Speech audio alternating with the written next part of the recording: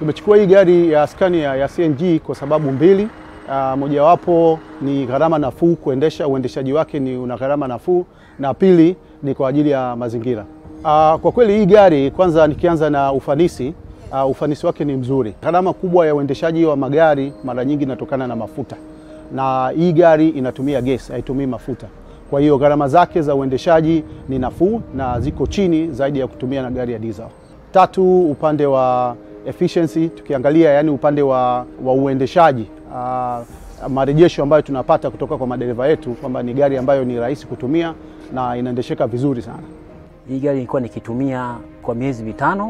Uh, kwa uzoefu wangu wa, wa kuiendesha tangu hiyo miezi mitano ni kama skana nyingine tu, ila utofauti wake ni kwamba hii gari ni laini, ni nyepesi kwa sababu inatumia teknolojia ya kisasa ya CNG ambayo ni gesi asilia ya hapa Tanzania. The CNG truck we have with us here is 340 horsepower. We have equivalent of other trucks as well, which is uh, the same horsepower that are using diesel.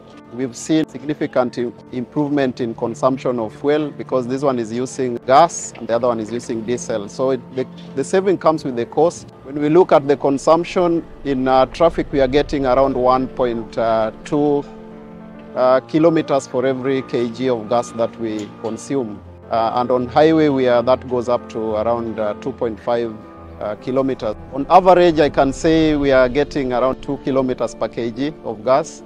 That's roughly 50 kgs for every 100 kilometers that we cover. So if you look at the price of uh, CNG, it's around 1,500 uh, Tanzanian shillings compared to the price of diesel, which is uh, now hitting around 3,000. So the saving is uh, like 50% saving. So my view on uh, the partnership between Coca-Cola and uh, Scania in green energy is uh, Coca-Cola is uh, actually at the forefront of driving uh, sustainability agenda and green energy is something we are really option that we are looking at as a company. And we've been monitoring the kind of savings we're getting from the truck, but also when it comes to the environment. So I think uh, when the infrastructure is made in place where we can be able to access the gas uh, for our daily operations, then that's something that uh, we would be excited to explore in the future. To other transporters and uh, users, what I can say is these are technology that is worth uh, exploring.